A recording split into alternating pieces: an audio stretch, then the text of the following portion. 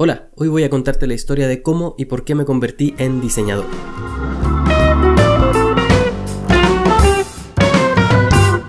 Probablemente esta historia te parezca bastante aburrida porque en realidad no tiene nada de especial, pero quizás hay alguno o una o dos personas por ahí que les gustaría saber la historia de cómo me convertí en diseñador. Así que ahí va.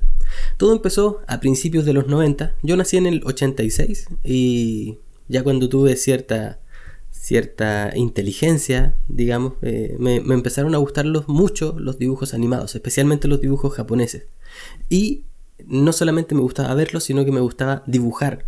Trataba siempre de dibujar tal como lo hacían en los, artistas que creaban estas series, pensando en Dragon Ball, Sailor Moon, eh, ¿qué otra cosa había en esa época? Los Caballeros del Zodiaco, todo eso me gustaba mucho. También, por supuesto, los más clásicos, Tommy Jerry y el Festival de los Robots, el Gato Félix me gustaba mucho también. Bueno, siempre me gustó mucho dibujar, dibujar, dibujar. Y después mi papá me compró los primeros cómics de DC Comics y también me gustó mucho, me, vi muy influenciado. No que, no que, dibujara como ellos, sino que me, me, prendieron mucho más eh, seguir dibujando gracias al, al, gusto que agarré por los cómics. Así que toda mi infancia, toda mi, toda mi etapa hasta más o menos los 13 años fue dibujar, dibujar, dibujar. En cualquier rato que tenía libre, en donde no estaba haciendo tareas, durmiendo, comiendo en el baño, estaba dibujando. Entonces, eh, cuando llegó, para que te hagas una idea, acá en Chile la educación tiene como tres niveles. Está la, educación de párvulos, que es hasta como los 4 años. Está la educación básica, que es más o menos entre los 4 o 5 años hasta los 13 años. Está la educación media, que en otros lados creo que se llama como preparatoria, no sé, que va desde más o menos los 13 años a los 17, 18, y luego la educación superior, que va de ahí en adelante en donde uno estudia una profesión. Bueno, cuando yo terminé la educación básica, tenía la posibilidad de elegir un colegio de... un, colegio tipo eh, humanista, creo que se llama, o un colegio en donde te preparan para ir a la universidad, en donde simplemente te enseñan todos los contenidos necesarios para poder después estudiar en la universidad. O está el otro tipo de colegio que es el tipo de colegio técnico, en donde no solamente te enseñan los contenidos necesarios para, para convertirte en una persona útil, sino que además te enseñan algún oficio. Yo en este caso elegí, dentro de esa, en esa época, entrar a un colegio técnico y entré a un colegio que se llamaba Escuela Nacional de Artes Gráficas. ¿Por qué elegí este colegio? Porque decía artes gráficas. Yo pensé que entrando a este colegio iba a aprender a dibujar, me iban a enseñar las artes de algo gráfico. Sin embargo, conforme entré a estudiar, cuando ya estaba inscrito en el colegio, descubrí que artes gráficas es el término que se utiliza para definir a la industria de la imprenta o al arte de la imprenta. Entonces, básicamente entré a este colegio en donde me enseñaron el oficio de trabajar para la imprenta. Aprendí de todo, ¿eh? aprendí de, de preprensa, aprendí de un poquitito de diseño, un poquito de, prensa, encuadernación y todo esto me sirvió bastante porque si bien no era lo que yo quería, no era lo que yo esperaba, no, tuve clases de dibujo, más, más, que algún taller electivo, todo este tiempo seguí dibujando y el estar en este, en este lugar en donde eh, estaba cercano a la imprenta me ayudó a conocer esto que se llama el diseño gráfico, porque lo que hace un preprensista es recibir el diseño que le entrega un diseñador gráfico y prepararlo para imprimir. Entonces terminé, salí de cuarto medio o terminé la enseñanza media, hice mi práctica profesional eh, en, algunas imprentas y me quedé trabajando en algunas imprentas. Y siempre en el área, el primer trabajo fue en donde yo era mentolatum, como se dice acá en Chile, yo era de todo. Era preprensista, ayudaba a los maestros en las máquinas, iba a, dejar los productos, era de todo.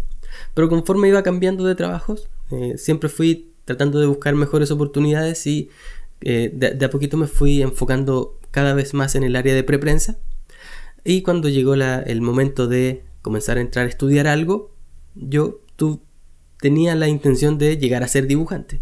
Todavía la tengo más o menos, pero eh, más, como, más como hobby. Pero eh, dije, bueno, aquí en Chile no hay una industria del dibujo. Capaz ahora sí la hay, pero en ese momento, en el 2002, 2003, no, la, o no, no era algo que yo alcanzara a ver desde mi perspectiva. Así que decidí, bueno, lo más cercano al dibujo es el diseño gráfico y ya conozco diseño gráfico gracias a mi trabajo como preprensista, así que ahí decidí comenzar a estudiar diseño gráfico.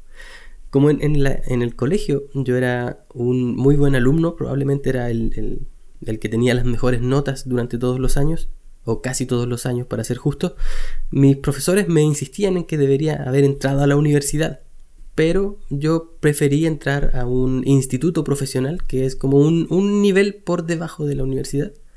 Eh, porque generalmente las carreras duran un año menos, y eso me importaba mucho que fuera un año menos, y era considerablemente más barato. No pretendía conseguir un crédito para poder estudiar, sino que como ya estaba trabajando en la imprenta, decidí estudiar de noche y trabajar de día, de tal forma que me fuera pagando el estudio al mismo tiempo y después no quedar con ninguna deuda. Afortunadamente, eh, seguí siendo buen alumno en el instituto y durante los cuatro años siempre tuve el mejor, eh, la mejor nota de toda la, generación de los que estudiaban diseño gráfico en esa institución.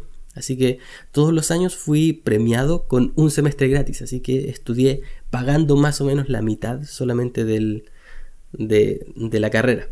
Bueno, así que terminé de estudiar ahí, hice la práctica profesional en una eh, agencia de diseño en donde básicamente me dediqué a, hacer CDs interactivos.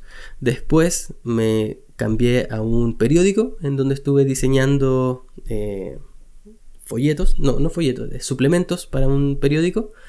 Y por ahí, por el 2011, 2011 sí, decidí renunciar a este trabajo y comencé a trabajar como profesional independiente.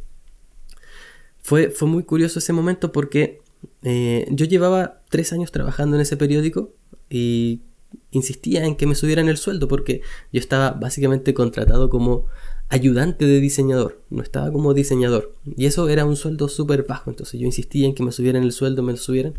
Y después de varios intentos no había pasado nada.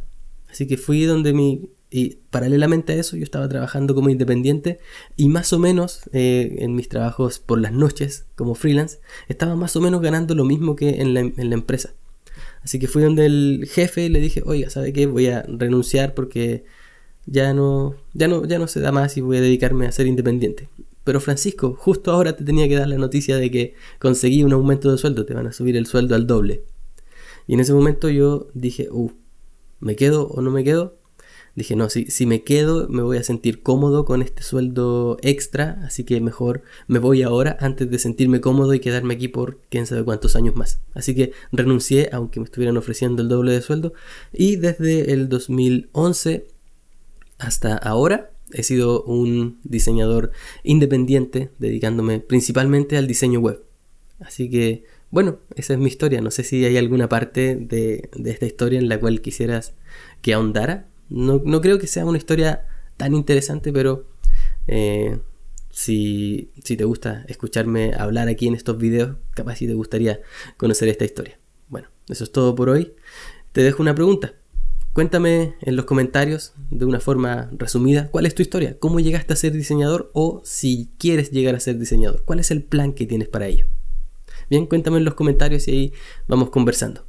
Te mando un abrazo y nos vemos pronto en algún otro video, artículo, tutorial o en alguna otra aventura por el internet. Si te gustó este video, dale like y compártelo. Nos vemos pronto. Chau chau.